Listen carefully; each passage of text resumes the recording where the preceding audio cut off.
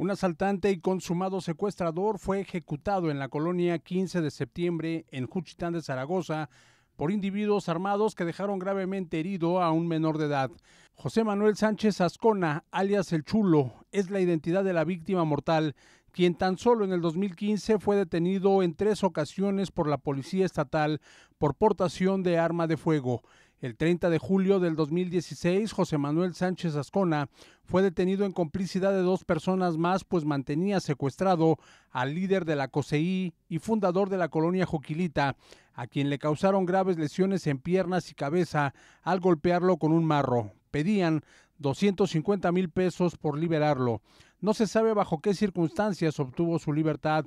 El menor que resultó herido en el atentado registrado este día en la colonia 15 de septiembre es hijo del Oxiso, con información de MBM Televisión.